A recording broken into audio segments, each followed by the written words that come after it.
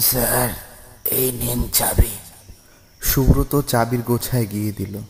চাবি নিয়ে রাজশেখর বললেন তুমি ছাড়া এই বাড়িতে আর কে কে থাকে কাজ করার দেখাশোনা করার জন্য?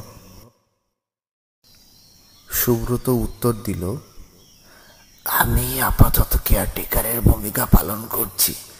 চম্পা আর গৌরী এই বাড়ি ঝেড়ে পুছে গুছিয়ে রেখে যায়। যারা পিকনিকের জন্য আসে চম্পা তাদেরও রান্না বান্না করে দেয়। তবে রাতে কেউ থাকে না, আমরাও কেউ রাতে থাকি না। সন্ধ্যার মধ্যে কাজ শেষ করে বাড়ি ফিরে যাই। আমাদের বাড়ি অবশ্য দূরে নয়। এই বাড়ির বাউন্ডারির ঠিক বাইরেই কিছু ঘর আছে। সেখানেই থাকি।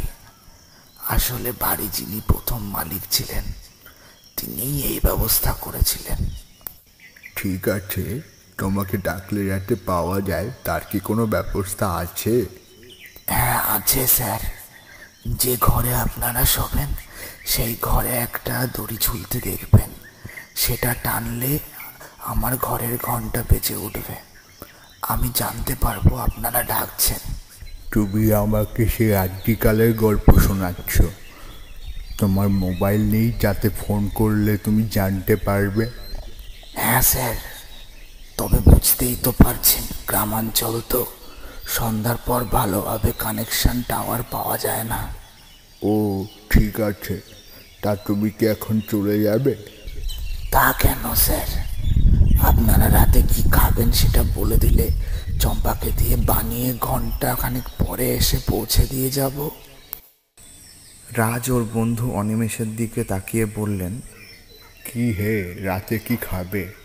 এরকম ব্যাপার জানা থাকলে খাবার কিনেই নিয়ে আসতাম আসার পথে। অনি বললেন, আরে অত চিন্তা কিসের? ও তো বলেছে রান্না করিয়ে দিয়ে যাবে। তাহলে বলো কি খাবে? বেশি আর কি, লুচি আর পাঠার মাংস কষা, আর একটু গা গরম করার পানীয়। তারপর সুব্রতর দিকে তাকিয়ে বলল, কি হে, হবে তো? আমি নিয়ে আসব। ঠিক আছে, তাহলে এসো। আমরা একটু ঘুরে দেখি বাড়িটা কেমন। আর যে ঘরে শোবো, সেটা কেমন সাজিয়ে গুছিয়ে রেখেছো তোমরা? সুব্রত চলে যাওয়ার পর রাজ আর অনি নিচের ড্রয়িং রুম থেকে পায়ে পায়ে উঠে আসে দোতলায়। পুরনো দিনের জমিদারের বাড়ি গঙ্গার পাড়ে। এককালে নাকি জমিদাররা এখানে থাকতো। তারপর কোনো এক পুরুষ শহরের দিকে বাড়ি করে ওখানে সপরিবারে চলে যান। তারপর থেকেই বাড়িটা পড়েছিল। কয়েক পুরুষের এক ছেলে, বর্তমানে যে বাড়ির মালিক, সেই এখন বাড়িটা ভাড়া দিচ্ছেন পিকনিক করার জন্য। এত বড় বাড়ি দেখাশোনা করে রাখার খরচ প্রচুর। বাড়ি ভাড়া দিলে কিছুটা টাকা উঠে আসবে, তাই এই ব্যবস্থা। বাড়ির ভেতরে পা দেওয়ার পরেই দুজনেরই মনে হচ্ছিল যেন সত্যি জমিদার আমলের বাড়িতে এসে উপস্থিত হয়েছেন। ওদের ঘরে এসে উপস্থিত হলেন ওরা দুজনে। বেশ উঁচু রাজকীয় খাটে শুভ্র সফেন বিছানা পাতা তার সাথে বালিশ, কোলবালিশ সব আছে। ঝাড়বাতিটা জ্বলছে, এক মায়াবী পরিবেশ তৈরি হয়েছে। পাখার সুইচটা দিতে পাখা বেশ জোরে ঘুরতে শুরু করল। ওরা ঘরের লাগোয়া বাথরুমে এসে এক এক করে ফ্রেশ হয়ে নিলেন। রাজ দোতলার লাগোয়া বারান্দার দিকে এগিয়ে গেলেন। তারপর হাত দিয়ে দরজার ছিটকিনিটা খুললেন, কিন্তু দরজা খুলল না। বেশ চাপ দিতে হলো ওটাকে খুলতে। অবশ্য দরজা খুলে যেতেই এক ঝলক ঠান্ডা হাওয়া এসে জমা হলো ঘরের ভেতরে। তখন বাথরুম থেকে অনিও বেরিয়ে এসেছেন বললেন, রাজ, তোমার জন্যেই একদিনের জন্য হলেও নিজেকে জমিদার বাড়ির সদস্য বলে মনে হচ্ছে ভাই। রাজ হাসলেন, তবে বলো, তুমি তো ভাই আসতেই চাইছিলে না। তখন কি আর বুঝতে পেরেছি? এত সুখ আছে কপালে এত সুখ নাচছে কপালে। হঠাৎ দরজায় এসে উপস্থিত হলো সুব্রত। বলল স্যার আপনাদের খাবার নিয়ে এসেছি। নিচে ডাইনিংয়ে খাবেন না এখানে দিয়ে যাব। নিচেই চলো বিছানায় বসে কি আর খাওয়া যায়?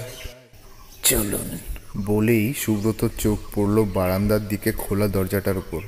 বলল এটা কে খুললো? রাজ উত্তর দিলেন আমি ঘরের গরম হাওয়াটা বেরিয়ে যাবে। সুব্রত আর কোনো কথা ওই বিষয়ে না তুলে বলল তাহলে আসুন নিচে আমি খাবার বেড়ে দিচ্ছি। নিচে ডাইনিংয়ে এসে ওদের চক্ষু একদম ছানা পড়া যা বিশাল এক ডাইনিং টেবিল পাতা মনে হয় একসাথে জনতিরিশ লোক বসে খেতে পারবে। তবে অত লোক তো এখন এখানে না খেলেও টেবিল আগের আমলের মতোই সাজানো। ওরা দুজনে এসে মুখোমুখি বসতেই সুব্রত খুব সুন্দর করে সব সাজিয়ে দিল। তারপর বসে বসে খাওয়া তদারকি করল। খাওয়া শেষ করে উঠতে বলল আপনারা হাত ধুয়ে বসার ঘরে আসুন আপনাদের পানীয় ঢেলে দিচ্ছি। দুজনে এসে বসতে সুব্রত পরিমাণ মতো সব মিলিয়ে গ্লাস এগিয়ে দিল দুজনের দিকে। রাজ বললেন অসংখ্য ধন্যবাদ তোমাকে অনেক করেছ আমাদের জন্য আর থাকতে হবে না রাত তো অনেক হলো এবার তুমি এসো দরকার পড়লে তোমাকে পাবো তো? হ্যাঁ স্যার পাবেন। আমি আসি তাহলে শুভরাত্রি। সুব্রত চলে গেল। ওরা একটু করে পানীয় গ্লাসে চুমুক দিচ্ছেন। আর গল্প করছেন। হঠাৎ অনি বললেন বুঝলে সব ব্যবস্থা যখন করলে তখন জমিদারের নাচঘরের বাইরের ব্যবস্থাটা করলে আরও আনন্দ পেতাম। কোনোদিন তো সামনে থেকে ওসব দেখার সুযোগ ঘটলো না। হুম এটা বেড়ে বলেছ কিন্তু আগে বলতে হতো এখন কি আর হবে? সুব্রতকে বললেই হতো ও কি এত তাড়াতাড়ি ব্যবস্থা করতে পারতো? মনে তো হয় না। আহা তুই চম্পা না কে? আসতে পারতো তো আমাদের মনোরঞ্জন করতে? এই গল্পের মাঝেই হঠাৎ করে ঘরের আলো নিভে গেল। রাজ বললেন যা লোডশেডিং সুব্রত তো আগে বলেনি যে এখানে হঠাৎ করে কারেন্ট দিতে পারে। না হলে দুটো তিনটে মোমবাতি আনিয়ে রাখতাম ওকে দিয়ে। হুম এরকম বাড়িতে আলো চলে গেলে কেমন যেন একটা অনুভূতি হয়। কি হে, তোমার ভয় করছে নাকি? ঠিক ভয় নয়। তুমি সেই আগের মতোই ভীতু রয়ে গেছো, জানতাম না। কথার মাঝে কিসের যেন শব্দ হলো ঘরের মধ্যে।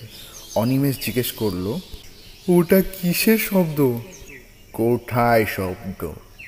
তুমি শুনতে পাচ্ছ না, কিন্তু আমি যে পায়ের ঘুঙুরের শব্দ পাচ্ছি। কোথায়? ওই শোনো। এবার রাজও শুনতে পেলেন।